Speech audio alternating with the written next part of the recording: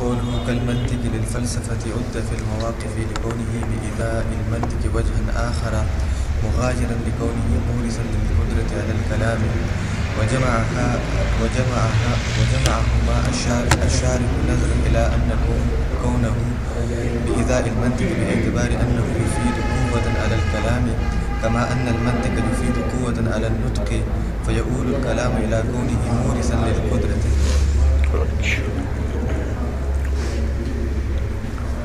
فرقاء النصف لو بصر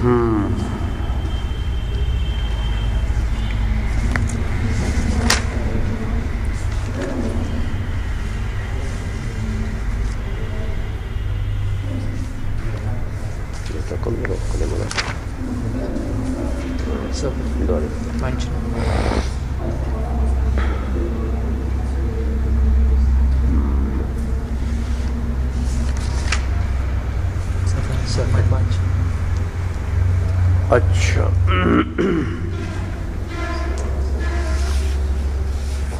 اب انہوں نے یہاں پر علامہ تفتوانی رحمۃ اللہ علیہ نے ایک وجہ تسمیہ بیان کی تھی علم کلام کے لیے کہ اس کو کلام کیوں کہتے ہیں۔ تو فرمایا کہ بولے انہو یورث قدرتاً علی کلام فی تحقیق الشرعیات کہ شرعیات کی تحقیق میں گویا کہ یہ علم کلام جو ہے، یہ قدرت علی الکلام دیتا ہے۔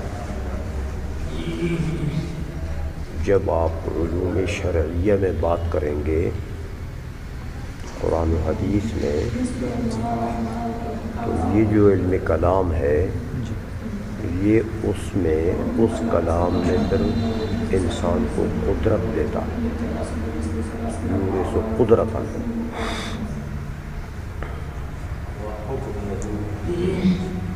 اور دوسرا وہ الزام الخصوم کہ جو آپ کا مد مقابل ہوگا، اگر کوئی بحث ہو جائے کسی سے، تو جو آپ کا مد مقابل ہوگا، اس کو آپ الزام دے سکیں گے۔ علم کلام آپ نے پڑھا ہو اس کو ملزم کر سکیں گے آپ۔ یہ وجہ بتائیے کہ اس کو کلام اس لیے کہتے ہیں کہ یورسو قدرت علی الکلام۔ کہ یہ انسان کو مالک بنا دیتا ہے قدرت علی الکلام۔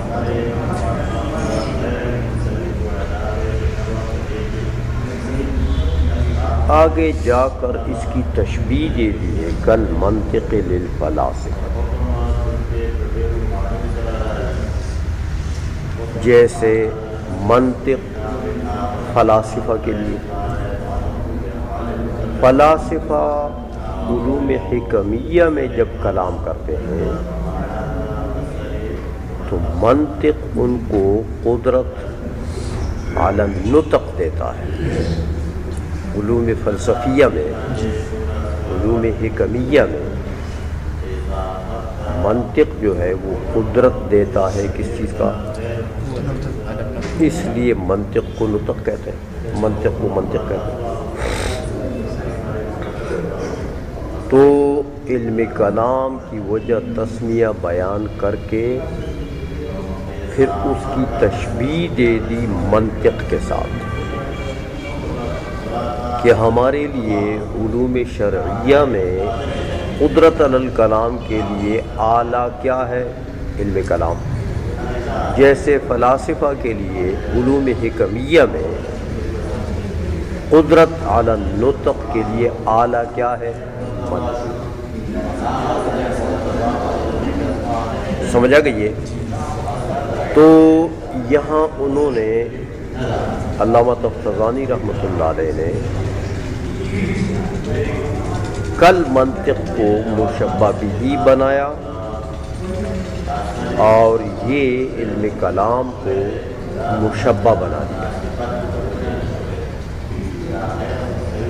کہ یہ ایسا ہی ہے بالکل جیسے علم کلام ہے فلاسفہ کے لیے، ہمارے لیے یہ ایسا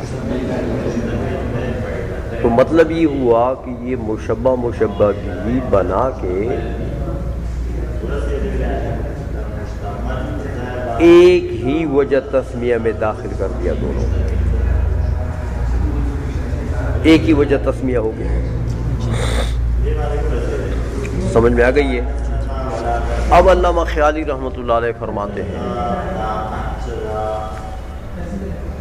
کہ دیکھو قاضی عدد نے مواقف میں یہ جو شرح مواقف میر سید نے اس کی شرح لکھی ہے۔ قاضی عدد نے مواقف میں اس چیز کو جو علامہ تفتزانی نے یہاں ایک وجہ تسمیہ بنایا، قاضی عدد نے مواقف میں اس کو دو وجہ بنائے۔ وجہ تسمیہ انہوں نے اس کو دو بنائے۔ کہتے ہیں، عد فی المواقف. دیکھو كونه بإزاء المنطق وجها آخر مغايرا لكونه مورثا للقدرة على الكلام مواقف میں یہ علم کلام بمقابل منطق. اس کو ایک اور وجہ بنایا۔ وجہ تسمیہ کے لیے وجوہ تسمیہ میں سے ایک وجہ علم کلام کے لیے کیا بنایا انہوں نے کہ بھائی منطق جیسے مور سال نطق ہے علوم حکریہ میں۔ اسی طرح ہمارے لیے کلام کیا ہے؟ یہ مور سل اعلیٰ قدرت للکلام ہے پھر شرعیات اس لیے اس کو کلام کہتے ہیں۔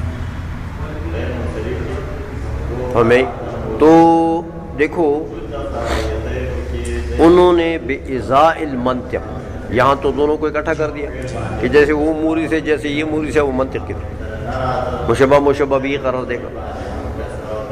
وہاں مواقف میں انہوں نے یہ کہا کہ بھائی، دیکھو، منطق بمقابل علم کلام۔ منطق کو منطق کیوں کہتے ہیں؟ اس لیے کہ منطق مصدر میمی ہے، وہ منع نطق ہے۔ تو اس سے بھی نطق انسان کر لیتا ہے پھر علوم حکمیہ میں۔ کلام کو بھی کلام اسی لیے کہتے ہیں کہ یہ منطق کی طرح۔ سمجھ آئیے تو اس کو ایک اور وجہ بنایا۔ پھر دوسری وجہ بیان کر دی کہ بھائی اس کو کلام اس لیے کہتے ہیں کہ یہ مورس ہے۔ کس کا؟ مورس کس کا ہے؟ قدرت الکلام کا۔ سمجھ میں آئیے تو کون بے ازا المنطق، یہ وجہ آخر ہے۔ کہ علم کلام بمقابل منطق۔ فلاسفہ کے لیے منطق۔ متشرعین کے لیے کلام۔ تو ان کے وہاں منطق اعلیٰ ہے ہمارے یہاں۔ کلام اعلیٰ ہے۔ اور پھر یہ کہ یہ مورث ہے، قدرت الکلام کا، یہ ایک اور وجہ انہوں نے بیان کر دیا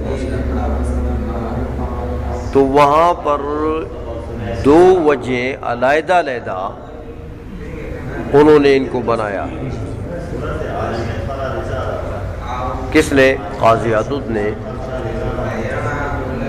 تو کہتے ہیں یہاں تفتزانی صاحب نے دونوں کو ایک بنا دیا۔ اس لیے کہتے ہیں وہ جمع شارح۔ شارح نے دونوں کو جمع کر دیا۔ اور یہ کیوں جمع کر دیا؟ حالانکہ وجہ تو دو ہیں۔ کلام بمقابلہ منطق، یہ ایک الگ وجہ۔ کلام، مورث القدرت علی الکلام، یہ الگ الگ وجہ۔ تو حقیقت میں تو یہ دو وجہ ہیں۔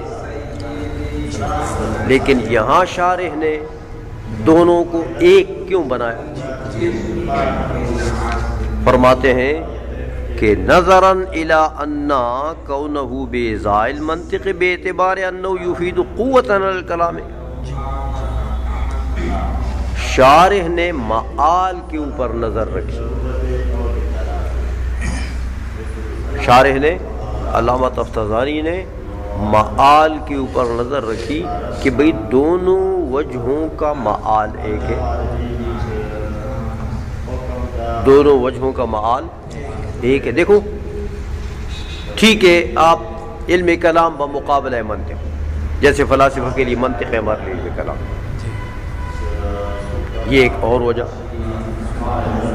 کون ہوں موری سن للقدرت الکلام، یہ ایک اور وجہ۔ لیکن دونوں کو ذرا سوچو کہ فلاسفہ کے لیے منطق ہے ہمارے لیے کلام۔ تو اس کا معال کیا؟ ہے کہ فلاسفہ کے لیے منطق ہے کس کام کے لیے؟ قدرت الکلام کے لیے، قدرت المنطق نطق کے لیے۔ تو ہمارے لیے کلام موری سے قدرت ہے الکلام تو دونوں وجوہ کا معال ایک ہے کہ نہیں ہے؟ سمجھ آئیے دونوں وجوہ کا معال ایک ہے۔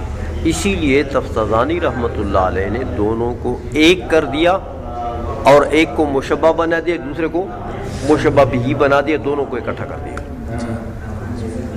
آئی، سمجھ میں؟ تو علامہ تفتزانی رحمۃ اللہ علیہ کا کلام جو ہے، بنسبت قاضی عدد کے یہ اچھا ہے۔ سمجھ آئیے کیونکہ چیز کے معال کو ایسے ہی تکثیر کلام نہیں کرنا چاہیے کہ انسان باتیں بہت بنائے۔ زیادہ باتیں بنانا اچھی بات نہیں ہے۔ معانی کو، معال کو دیکھنا چاہیے۔ اگر معال میں دو تین چیزیں ایک اکٹھی ہیں، تو بس وہ ایک چیز ہے۔ اس کو ایک بنانا چاہیے۔ تو کلام میں تکثیر اور کلام میں زیادتی، یہ کوئی اچھی بات ہو؟ نہیں ہے، ایسے ورقوں کو نہیں کالا کرنا چاہیے۔ بلکہ معال کو دیکھنا چاہیے۔ تو علامہ تفتزانی نے معال کو دیکھا ہے کہ دونوں کا معال ہے کہ لہٰذا ایک ہی وجہ یہ سمجھ میں آ گئی ہے؟ اس لیے فرمایا کہ وہ جمعہم الشارح نظرا الى ان کونہ بازاء المنطق۔ دیکھو، یہ جو تم کہتے ہو کہ یہ کلام بازاء منطق ہے، اس کا کیا مطلب ہے؟ بازاء منطق کیا مطلب ہے؟ کہتے ہیں بازاء منطق کا تو یہی مطلب ہے کہ بے اعتبار انہ یفید قوتا علی الکلام۔ معال تو یہی ہے نا۔ تو یورث قدرت الکلام اور یورث قدرت قدرت الکلام دونوں جگہ پائی جائے معال تو یہی ہے نا۔ تو جب معال یہی ہے، کما ان المنطق یفید قوتا علی النطق۔ کوئی اور بات نکل آئی اس میں؟ وہی چیز ہے۔ اس لیے کہتے ہیں کہ فَيَقُولُ الْكَلَامُ إِلَىٰ كَوْنِهِ مُورِثًا لِلْقُدْرَةِ۔ تو دونوں جگہ کلام کا معال کیا ہے کہ یہ مورث قدرت علی الکلام کا ہے۔ منطق کی طرح ہے۔ کس بات میں؟ کہ یہ مورث قدرت علی الکلام ہے۔ ہاں۔ ہمارے لیے یہ کلام ہے جیسے مناطق کے لیے منطق ہے۔ اس کا بھی یہی مطلب۔ تو علامہ تفتزانی رحمۃ اللہ علیہ نے معال کو دیکھا ہے۔ معال دونوں وجوہ کا ایک تھا اسی لیے انہوں نے ایک بنا دیا۔ آئی سمجھ میں؟ چلیے جی قوله فأطلق عليه هذا الاسم أي أولا إذ, لم لم يقيد به. لدعا إما قيد الأول. في ہاں اما إما قيد الأول. قید الاول اولی قید اولی لدعا دعا دعا کے لیے کیا بنے گا دعا کے لیے کیا بنے گا فائل کدھر گیا لدعا إما قيد الأول. في الأول أو ذكر وجه التخصيص في الثاني إذ لا شركة في كونه أول ما يجب حتى يختص للتمييز. وأما احتمال تسمية الغير به لغير هذا الوجه فقائم في سائر الوجوه أيضا مع أنه لم يتعرض بوجه التخصيص في غيره. اب علامہ تفتزانی رحمۃ اللہ علیہ نے یہ بات کی تھی کہ ولی انہو اول ما یجب من العلوم التي انما تعلم وتتعلم بالکلام اس کے بعد یہ وجہ تسمیہ ذکر کی ہے نا کہ یہ کلام جو ہے کلام کے ساتھ جن علوم کا تعلم و تعلیم و تعلم ہوتا ہے، کلام کے ساتھ، ان علوم میں سے یہ علم کلام کیا ہے؟ اول العلوم۔ ہے کیونکہ اول الواجبات انسان کے اوپر جو چیز ہے، وہ اسی علم میں ہے۔ تو اس علم کو سب سے پہلے سیکھنا چاہیے۔ سب سے اول۔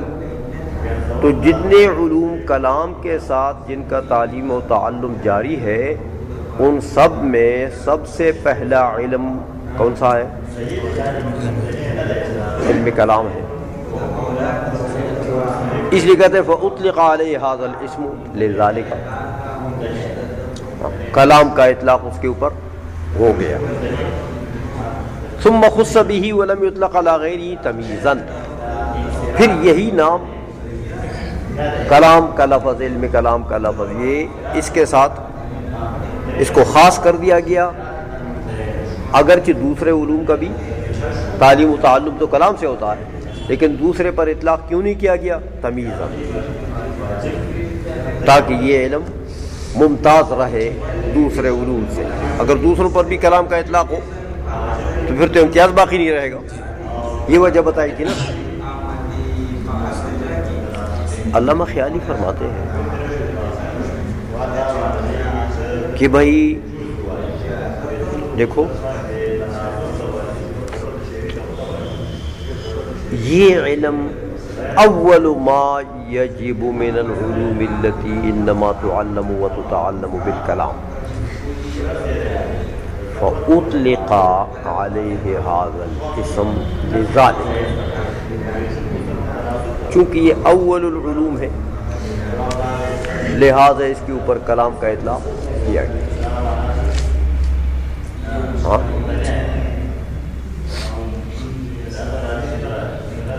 کلام کا اطلاق کیا گیا۔ پھر وہ جب بتائی کہ دوسروں کے اوپر کلام کا اطلاق کیوں نہیں کیا گیا؟ مخصا دوسروں کو حالانکہ ان کا بھی تو تعلیم و تعلم کلام سے ہوتا ہے۔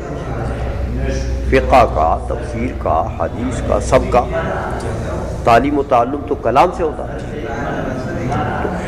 تو ان کو کیوں کلام نہیں کہا گیا؟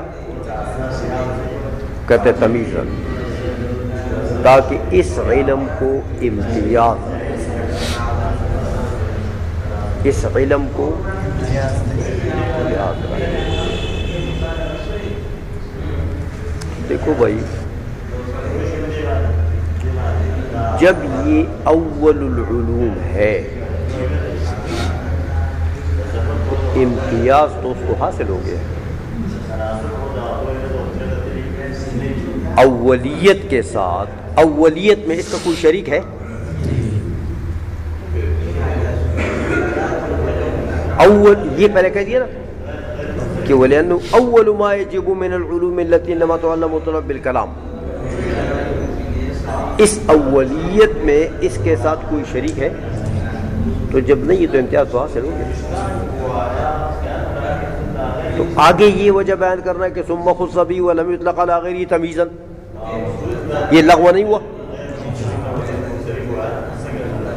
تمیز تو علم کلام کو اس پہلی بات سے حاصل ہے۔ سمجھائیے؟ تو یہ جو دوسری وجہ ہم نے بیان کہ ثم خصبی ثم خصبی ولم غیری تمیزن یہ بات جو ہے، یہ زائد اور فضول نہ ہوئی۔ سمجھ میں آ گئی ہے؟ اچھا۔ اگر اول العلوم سمجھتے ہو تو یہ فضول ہے۔ کیا چیز؟ تو مخصہ اگر اول العلوم نہیں سمجھتے ہو تو پھر تو اس میں اور بھی شریک ہے نا۔ تو پھر اول العلوم کہنا اس کو۔ وہ ٹھیک نہیں ہے۔ سمجھ میں آ گئی ہے سم مخصہ تو ٹھیک ہو جائے گا۔ سمجھ آ گئی ہے کہ جب اول العلوم نہیں ہے اور اس کے اوپر اطلاق کر دیا گیا علم کلام کا تو سم مخصہ تو پھر تو بات سم مخصہ والی ٹھیک ہو جائے گی۔ لیکن وہ اول العلوم کا لفظ۔ وہ فضول ہے۔ پھر اگر اول العلوم نہیں سمجھتے ہو تو اول العلوم کا اطلاق غلط ہے۔ تم مخصہ تو ٹھیک ہے۔ اور اگر اول العلوم سمجھتے ہو، تو پھر تم مخصہ غلط ہے۔ بات سمجھ میں آ گئی ہے؟ یہ ایک اعتراض علامہ خیالی فرماتے ہیں کہ اس وجہ تسمیہ پر یہ سوال ہوتا ہے۔ تو اس سوال کا جواب دیتے ہیں۔ کہتے ہیں اس کا جواب یہ ہے کہ یہاں ایک لفظ نکالو۔ علامہ تفتازانی کو یہاں ایک لفظ کہنا چاہیے تھا، تو بس یہ سوال پھر نہ ہوتا۔ سمجھ میں آ گئی ہے کیا لفظ؟ یہاں ایک لفظ نکالنا چاہیے کہ فَأُطْلِقَ عَلَيْهِ هَذَا الْإِسْمُ أَوَّلًا۔ فَأُطْلِقَ عَلَيْهِ هَذَا الْإِسْمُ أَوَّلًا۔ لِذَلِكَ یہ اولاً کا لفظ اگر یہاں نکال دیتے ہو نا، بس، بات دونوں، عبارتیں دونوں ٹھیک ہو گئی۔ کہ ہم اس کو اول سمجھتے ہیں کہ یہ اول العلوم ہے جو تو تعلم بالکلام۔ ان علوم میں سے جو جن کا تعلم کلام سے ہوتا ہے، ان میں سے اول ہے۔ اس لیے اس کے اوپر اولاً اطلاق ہوا کس کا؟ کلام کا۔ تو جب اولاً یہ کلام ہو ثم خصبی تو پھر یہ لفظ تمیز کے لیے خاص۔ دونوں عبارتیں ٹھیک ہو گئی اب کہ نہیں؟ بس کہتے ہیں ایک لفظ یہاں چھوڑ گئے اللہ متفزانی تو یہ اعتراض ہو اور اگر یہ ایک لفظ نکال لیا جائے تو دونوں عبارتیں بات سمجھ میں آ گئی ہے؟ اب خیالی پڑھو۔ وَأُطْلِقَ عَلَيْهِ هَذَا الْإِسْمُ اے اولاً۔ یہ اولاً نکالو تو بٹ ٹھیک ہو جائے۔ گا دونوں عبارتیں صحیح ہو جائیں۔ از لو لم یقید بھی یہ اولاً نکالنا پڑے گا۔ کیونکہ اس اولاً کے ساتھ اگر مقید نہیں کرتے ہو، فَأُطْلِقَ عَلَيْهِ کو تو پھر لضاع ضائع ہو جائے گا، یا تو قید الاولی فی الاول۔ اول میں جو اول کا قید ہے، وہ ضائع ہے۔ سمجھ گئے ہو نا؟ قید الاولی فی الاول۔ اور یا او ذکر وجہ تخصیص فی الثانی۔ یا ثم خصہ جو ہے یہ جو وجہ تخصیص تم نے بیان کی ہے تو ثانی میں یا یہ ضائع ہو جائے گا یا وہ ضائع ہے یا یہ ضائع ہے۔ اگر اولا نہیں نکالتے ہو یا وہ فضول ہے یا یہ فضول ہے۔ سمجھ میں آ گئی ہے؟ لیکن اولن نکال لو گے ثم اطلق علیہ اولن لذالکا۔ تو بس بات ٹھیک ہو گئی۔ ہے دونوں دونوں عبارتیں صحیح ہو آئی سو میں ازلا شرکت فی کونی اول ما یجب حتی یختص للتمیز۔ تخصیص کی وجہ کیوں ضائع ہو جائے گی؟ اس لیے بھائی کہ اول میں تو اس کے ساتھ کوئی شریک ہے نہیں۔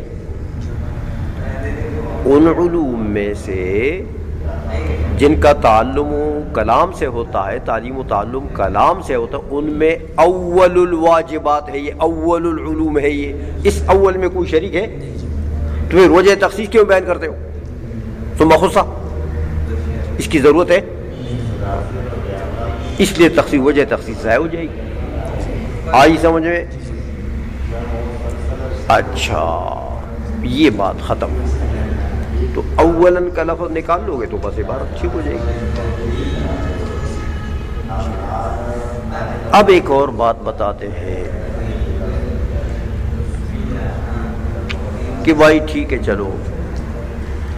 علم کلام کو تو کلام کہہ دیا اسی وجہ سے کہ یہ اول العلوم۔ ہے جو علوم، جن علوم کا تعلم و تعلیم کلام سے ہوتا ہے، ان میں سے یہ اول ہے۔ اس لیے اس کو علم کلام کہتے تو بھائی کسی چیز کو کسی نام سے مسمہ کرنے کے لیے کوئی ایک وجہ تسمیہ تو نہیں ہوتی ہے۔ جیسے دیکھو یہ علم کلام سے علم کلام کو مسمہ کیا ہے نا تو یہ سات آٹھ وجوہ انہوں نے بیان کر دیے۔ تو کوئی ایک وجہ تسمیہ ہوتی ہے؟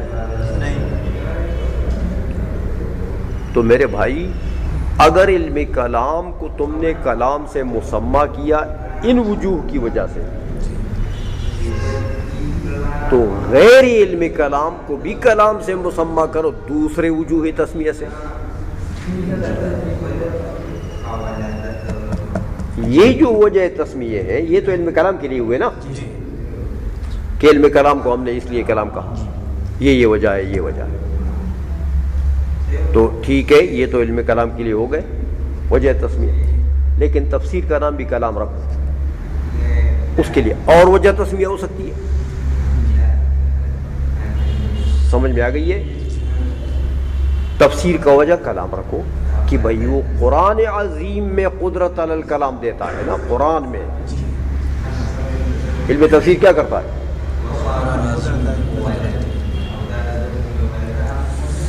سمجھ میں آئیے تو وہاں کے لیے اور وجہ ہو سکتی ہے۔ حدیث کو کلام کہو۔ وہاں کے لیے اور وجہ ہو سکتی ہے۔ فقہ کا نام کلام کرو۔ اس کے لیے اور وجہ ہو سکتی ہے۔ اسی طرح مطلب یہ کہ یہ وجوہ تسمیہ کا حصر تو ان میں نہیں ہے نا۔ یہ تو علم کلام کے لیے ٹھیک ہے۔ علم کلام کے لیے؟ لیکن دوسرے علوم اگر مسمہ ہو جائے کلام سے، تو ان کے لیے وجوہ تسمیہ اور بھی ہو سکتی اچھا۔ اور، دیکھو، اور یہ جو وجوہ انہوں نے ذکر کر دی ہے علم کلام کے لیے، یہ بھی ہو سکتی ہے۔ سوائے اس ایک کے۔ یہ جو انہوں نے ذکر کر دیا کہ ثم خصا بھی ولم يطلق على غیر تمیز اس ایک کو چھوڑ دیں کیونکہ یہاں پر ثم خصا کے لیے وجہ بتا دی. کہ یہ لفظ پھر خاص کر دیا گیا. علم کلام دوسروں کے اوپر اس کا اطلاق نہیں ہوا. کس لیے نہیں ہوا؟ تمیزت تو یہ تو علم کلام کا کلام کا لفظ علم کلام کے ساتھ اختصاص کے لیے وجہ ہو گئی ہے. یہ وجہ تو مختص ہو گئی ہے کس کے ساتھ؟ علم کلام کے ساتھ ہو۔ اس وجہ کے علاوہ باقی وجوہ جو انہوں نے تسمیہ کی ذکر کی ہے، ان میں یہ بات لکھی ہے انہوں نے تب صاحب نے، کہ یہ علم کلام کے لیے وجہ تسمیہ ہے اور یہ لفظ خاص ہو گیا اس کے ساتھ۔ دیکھو، پہلی وجہ تسمیہ کو دیکھو۔ وَلِأَنَّ مَسَلَةَ الْكَلَامِ كَانَتْ أَشْهَرُ مَبَاحِثِهِ وَأَكْثَرُهَا نِزَاعًا وَجِدَالًا. لِأَنَّ عُنْوَانَ مَبَاحِثِهِ كَانَ قَوْلُمَ الْكَلَامُ فِي كَذَا وَكَذَا. یہ جو ہے، عنوان مباحث جو ہے، وہ الکلام فی قضا و قضا اس لیے کلام کہہ دیا گیا۔ یہ وجہ تصویر ہے۔ اس کے ساتھ انہوں نے کوئی وجہ تخصیص کا ذکر کیا بعد میں کہ ثم خود سہاز اللہ دوسروں پر اطلاق نہیں ہوا۔ کوئی ثم خص ہے؟ اچھا آگے دیکھو دوسری وجہ۔ ولی ان مسرت الکلام فلان فلان فلان دیکھا؟ وجہ دارت حتی نباز المدلق قتل کثیر من اہل الحق لعدم قول بخلق القرآن۔ یہاں کوئی وجہ ذکر کی، تخصیص کی۔ کہ یہ وجہ خاص کلام سے۔ ثم خص ہے؟ آئیے میں اس ایک کے ساتھ آخر میں ثم خصہ ہے۔ آگے اور جو وجہ ہے، دیکھو۔ لأنه انما يتحقق بالمباحثة وإدارة الكلام الجانبين ہاں وغيره قد يتحقق بمطالعة الكتب والتعمل اس کا ثم خصہ ہے آگے ولأنه اکثر علوم نزاعا وخلافا، فيشتد افتقار الى الكلام مع المخالفين ورد عليهم کوئی ثم خصہ ہے تو مطلب یہ ہے کہ ان وجوہ کے ساتھ بھی ایک اس ایک وجہ کو چھوڑ کر، کہ اس ایک وجہ کے ساتھ ثم خصہ ہے۔ تو یہ ایک وجہ تو اگر علم کلام نام رکھا جائے تفسیر کا یا کسی اور علم کا، تو یہ ایک وجہ تو نہیں ہو سکتی۔ اس کے لیے وجہ تصویہ لیکن یہ باقی وجوہ، یہ تو ہو سکتی ہیں۔